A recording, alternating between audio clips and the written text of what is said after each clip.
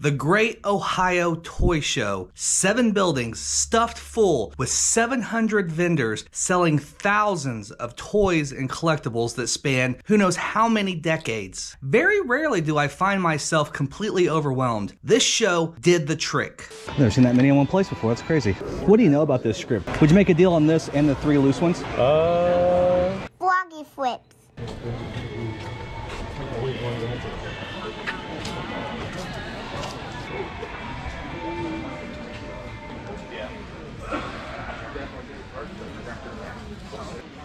You're welcome to look in the back also. Okay, thank you.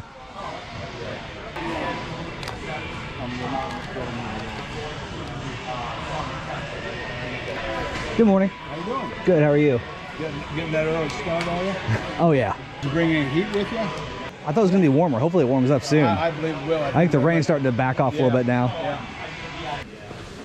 Under under the table, there was dollar box, two dollar box, three dollar box, five dollar box, ten dollar box.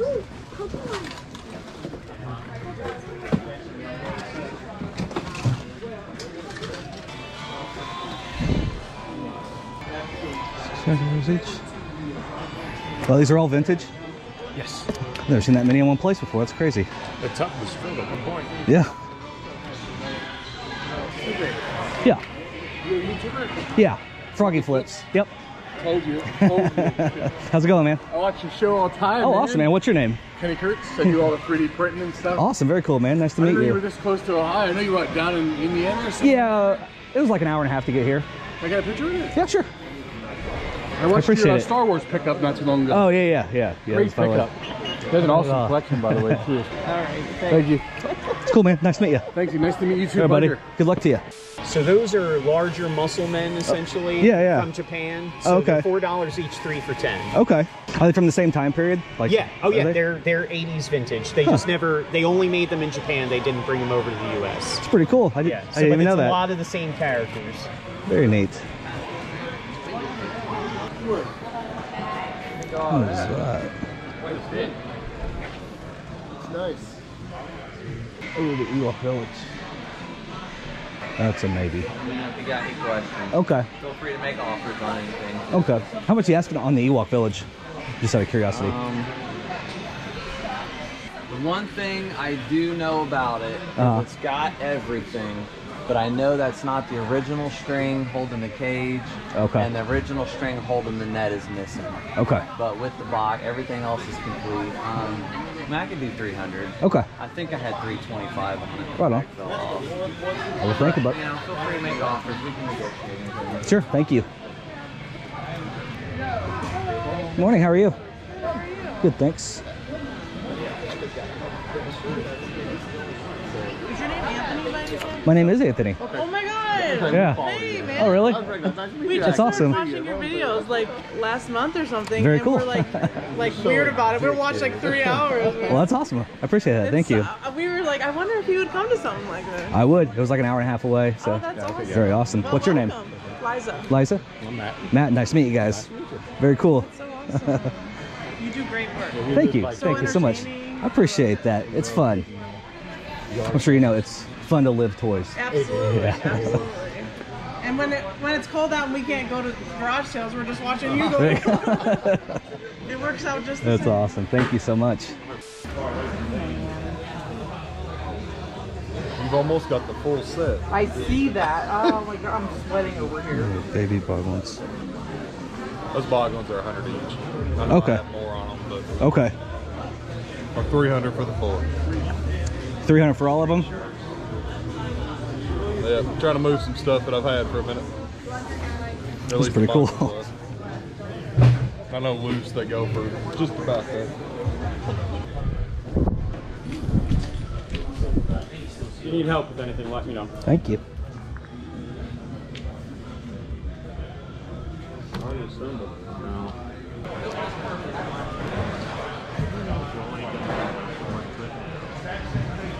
How's it going? Good. How are you? Good. How much do you have on the monsters here? I got 175 on the set. On the set? Yeah. They're from uh, Spain? Spain or... Pretty cool. Yeah. You don't see them too often, but yeah, that's all they are. I mean, you see them maybe once in a while on eBay, but they'll be like just, you know. Yeah. I want to say Herman, Herman and Lily are kind of tough. You see these two every once in a while. Is that all that were made, or Yeah, just the four. just four? Would you do 150? Um, how about I do half? Well, how about 160? 160? Yep. Awesome, man. And they're soft. They're actually. It looks like it, yeah. Squeaky toys. So awesome, man. Thank you so All right, much. thank you. Appreciate it. Good luck. Hi. How you doing? Good, good. Um, can I check a couple prices with you? Sure, absolutely. Uh, the uh, Remco Lurch, Uh, 120. 120. Really clean. The hair's perfect on them. It's pretty cool. Uh, and then what about the puffy stickers? Uh, I've got 650. It's a full box. yeah, it's pretty cool. And then I think the last one was the Star Wars gum, I've got 600 on them. 600. Okay, Never open. pretty neat. All right, I'm gonna think about the Lurch. Thank you so much. How's it going today? Doing well, how are you? Good, thanks.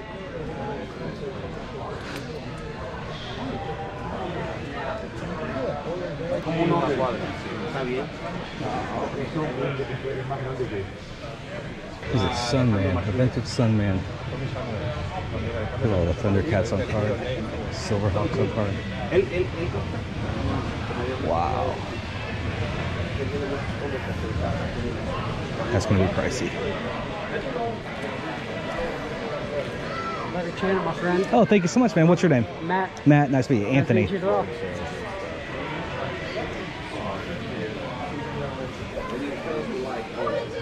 Uh, little bitty gizmo and the little baby Corvette. Hey, It's got some real good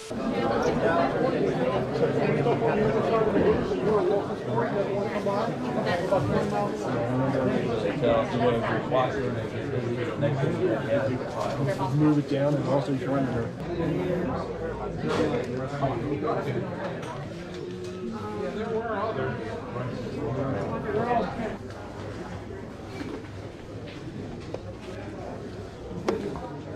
Forty on the thing. Okay. I'm gonna grab that. I'm gonna lay it down for a sec though. Okay. Yeah, I, that's how I got that one done. Yeah. Yeah, it was hilarious. One more question. What about the script? Sure. Uh, 400. 400?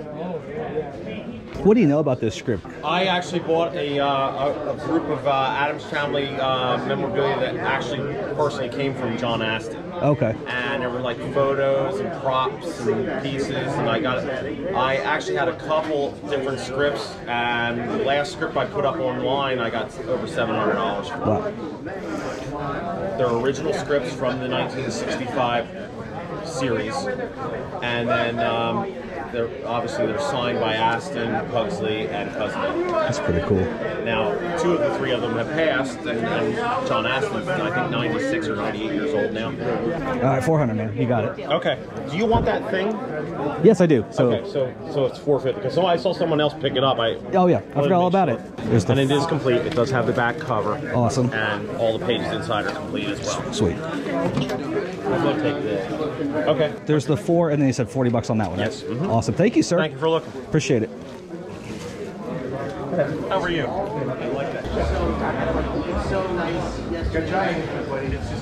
Okay. Clearance. Awesome.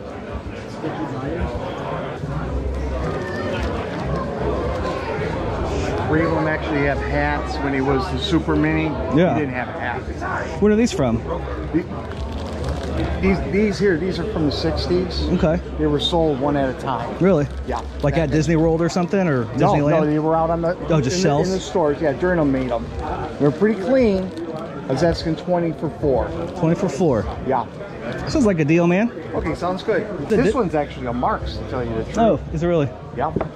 Oh, you're 25 then. 25. Yeah, that's cool. Pretty neat. I like it. Cool. Thank you, sir. That's pretty nice. Thank you. Have a good one.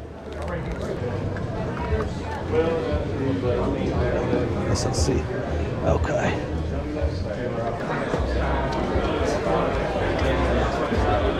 Those things you can order just open the lid, take Yeah. How's it going? Good, Anthony. What's up, man? Anthony. Nice to meet you. What's your name? Brian. Brian? Nice to I've meet been you, watching man. you for a couple years now. Awesome, man. Pre- I'm like, hey, to fill in your time, so I got Star Wars stuff and Appreciate take it. a look. Awesome, man. You don't have any last 17 Star Wars stuff, do you? No, No. no, I got a cantina playset. Oh, do you really? Let me see that real quick. Hey, let's 13, it has no Oh, paperwork. 13. Okay. And then, uh, Ooh, it's tempting. And that one seems like a good deal too. That carded Greedo. mhm, the bubble at the bottom filling. Oh, is it coming up a little bit? That's cool though. I'm gonna think about that one, man. Cool, awesome, Awesome. problem. Thank you so much. That is the only function. A frogster. Hey, man. What's up, dude? How's it going? I enjoy your videos. I'm Thank sure you so hear much. all the time. I appreciate that, man. What's your name? Joe, Joe. Nice to meet you. meet you too. What do you have on the toilet paper? I'm asking 60 bucks each. 60. on. Okay. I'll probably wheel and deal with you a little bit if you wanted one. I do 50. 50? Paid 45 for them. Yeah, I'll do one for 50, man. Cool. This is the better box. if Okay. You want to check them out? It's probably the coolest thing I've ever seen. Heck yeah. So, I didn't even know they existed. Thanks, brother. pretty awesome, man. Thank you. You're welcome, man. Yeah, they took all the modern stuff to uh, Lexington. LexCon down there. You got the Harley Davidson shop yet? Is that head popper braided or is it or is it just uh, encased? 85. 85. Pretty cool. And then we have uh, these three loose ones. I saw those. Yeah. And then there's a tub down there, that purple tub. Yeah, just like full of 'em. balls. Would you make a deal on this and the three loose ones? Uh, 450 for all of them. Oh yeah. Sure. Yeah. Awesome. I just put them out like five minutes ago. Yeah, I was here earlier. Didn't see them. Yep. So they were all in a box of stuff to put out, but they didn't have any prices with them.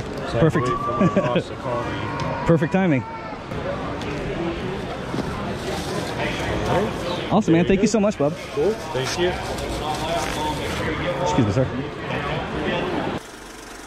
We made it back to the showroom. The Great Ohio Toy Show. Seven buildings stuffed full with 700 vendors selling thousands of toys and collectibles that span who knows how many decades. At this point, with the situations I've been in, the collections I've seen, very rarely do I find myself completely overwhelmed. This show did the trick. Normally, I pride myself on the ability to make quick decisions with very little regret. But at this show, all I kept thinking was don't buy that because you don't know what's at the next booth. Don't buy that because you don't know what's across the room. Don't buy that because you don't know what's in this other building. Eventually, I just had to set a goal to try to look for something that I didn't feel like I could easily just get on eBay, order it for about the same price, and have it shipped to my house in a couple days. Something that I thought would possibly have a little more rarity or scarcity about it. I had to remind myself what treasure hunting was all about.